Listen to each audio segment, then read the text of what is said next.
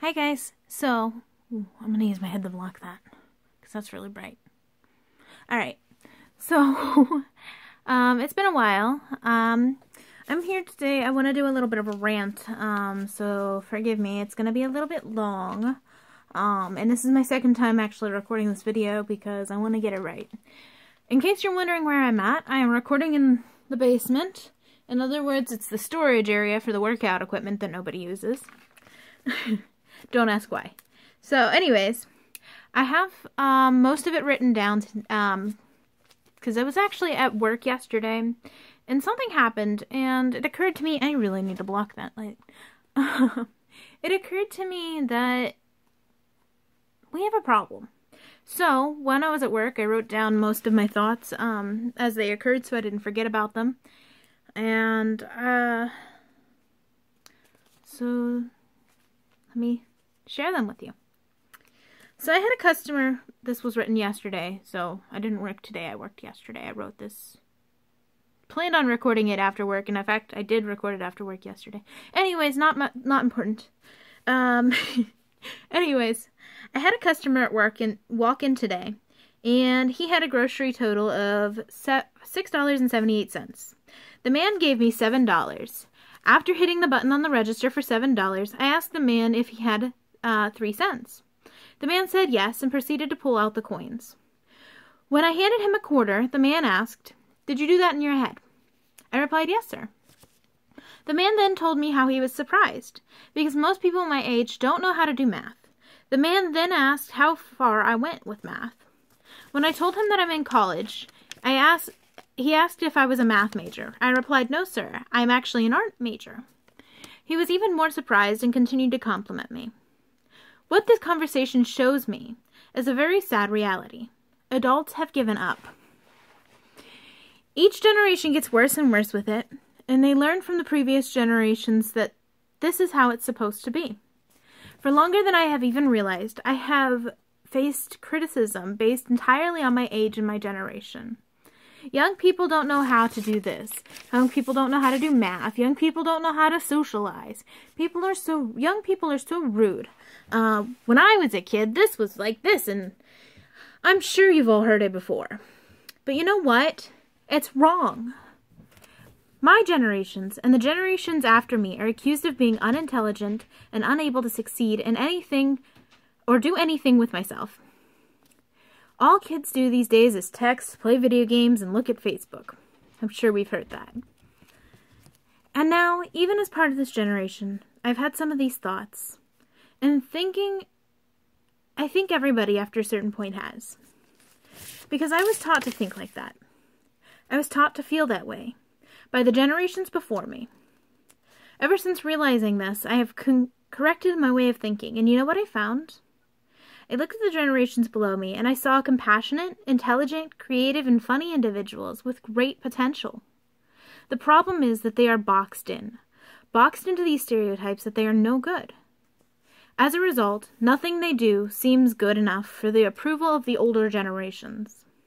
It was our parents and our grandparents' generations that created much of the technology that we use today. And while many people use it, many people complain about it.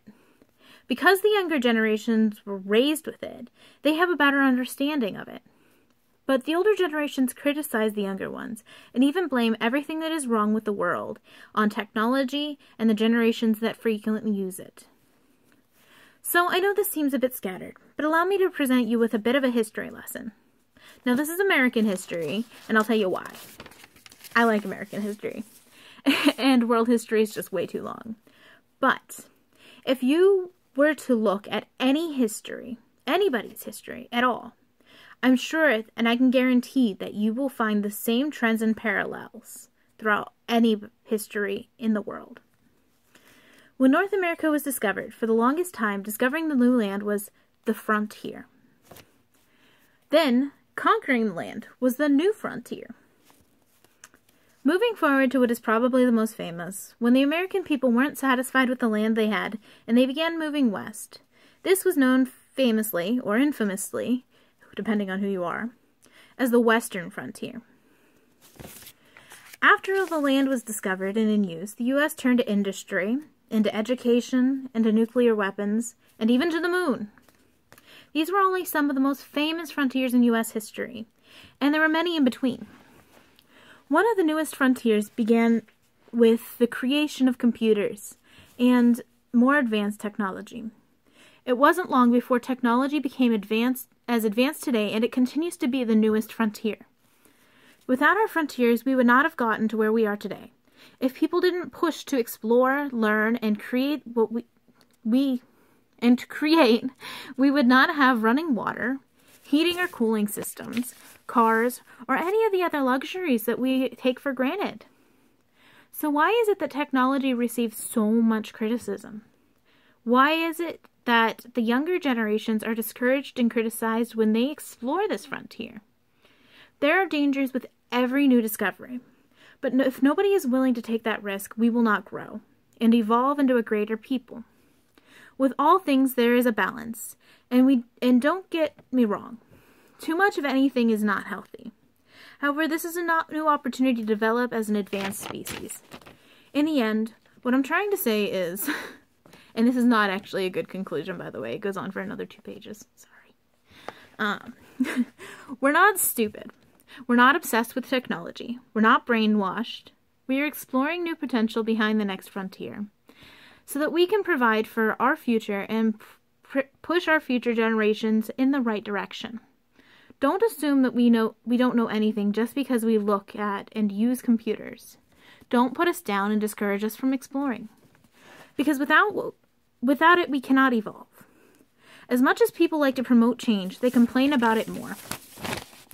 The biggest problem with that is that they don't even give it a chance before they complain and find all the faults they possibly can. For example, in America recently we've started using uh, the chip readers in our debit cards. Uh, I'm sure most of your most most countries, many countries have started using this already. Ours is kind of late to the game here. But the thing is, it's different. And a lot of people have found ways to criticize it. Oh, it's running too slow, it's harder to do, it takes longer, it's I don't understand how it's more secure. And they come up with all these reasons why it's bad. But they don't give it a chance. Just like they don't give us a chance. Take a second and look at us as people. Not as kids, not as a stupid generation behind the stereotype. Look at us as the future. I know it sounds very stuck up or conceited to say that we are here to create a better future.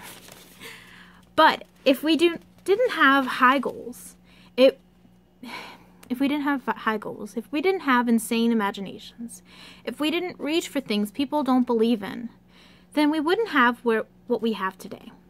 Computers and communication. I mean, look back couple hundred years ago. Do you think they would have believed us if we would have said, hey, we're going to have the technology to talk to somebody on the other side of the world within seconds? I mean, just imagine. It went from, you know, personal messages to tele uh, to mail letters in the mail to telegrams to eventually telephones and now we have computers. It's evolving but it will continue to evolve, and there's more potential to get better. Yes, there are dangers, and it is important to be aware of them, but we shouldn't be so afraid that we don't leave our comfort zone. No growth can happen unless we do.